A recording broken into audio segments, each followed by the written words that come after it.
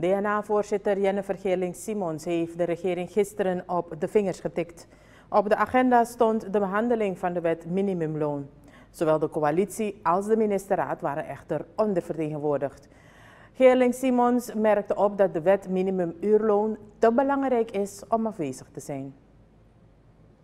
Minister Mustaja, het spijt me, omdat ik weet dat u altijd trouw hier aanwezig bent en u bent met een belangrijk stuk wetgeving bezig. Maar u niet echt veel ondersteuning vanuit de regering. Hè? Die zijn weggegaan. Tenminste, ik zie maar drie ministers in totaal hier.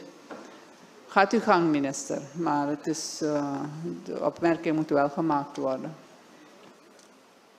Voorzitter, ik moet u helaas gelijk geven wat betreft de laatste opmerking. Je kan er onderuit. Uh, la, laat me vooropstellen dat wij u dank zeggen voor de leden die uh, waardering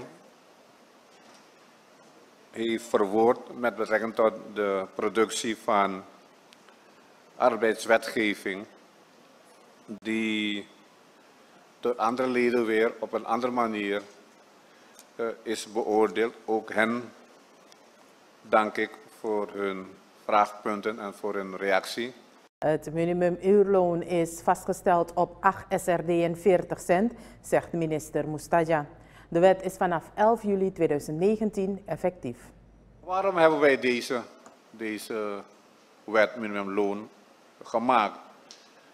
Het is inderdaad zo dat je deze wet, een der sociale wetten, zou kunnen behandelen in samenhang met uh, wet basiszorg en de wet algemeen pensioen. Maar het is ook verdedigbaar en is ook uh, logisch de volgorde als dat nog niet het geval is. Die twee andere wetten zijn in aantocht. Dan kan je deze wet wel al behandelen, omdat die twee andere sociale wetten zijn uh, mede afhankelijk van zeg maar, de vernieuwde minimumuurloonwet. We hebben uh, inderdaad gesteld dat er uh, meer dan 30, 33 uh, aanvullingen zijn, tekortkomingen zijn, die de wet minimumuurloon liet zien. Minister Suarto Mustaja van Arbeid gisteren in het parlement over de wet minimumuurloon.